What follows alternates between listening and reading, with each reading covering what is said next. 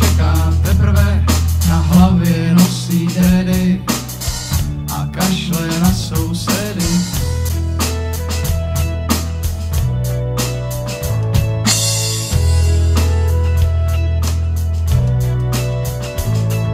A uvlíká se do kůže, v noci je sladká jako mucholavka.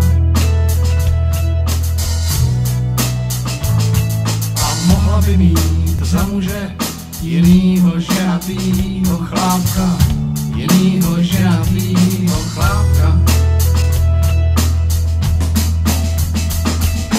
Až se v Brounsku oteplí, já za ní pošlu zvědy, pro slova, co jsme neřekli,